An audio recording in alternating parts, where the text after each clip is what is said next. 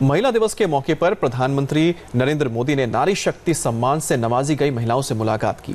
ये वो महिलाएँ हैं जिन्होंने अलग अलग क्षेत्रों में कई चुनौतियों का सामना करते हुए कामयाबी हासिल की है।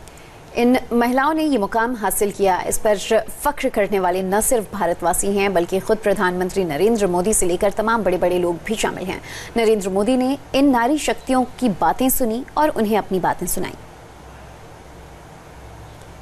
तो आपको बता दें कि वुमेंस डे के मौके पर प्रधानमंत्री मोदी ने इन्हीं में से चुनी गई सात जो महिलाएँ हैं, उनको अपना ट्विटर अकाउंट हैंडल करने के लिए दिया था एक दिन के लिए।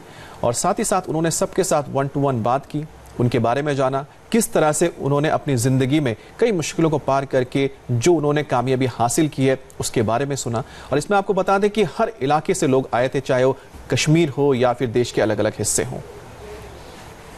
तो ये कुछ तस्वीरें आप देख रहे हैं, जिसमें आप देख सकते हैं ग्रामीण क्षेत्र से या शहरों से या दूर दराज के इलाकों से भी इनमें लोग शामिल थे।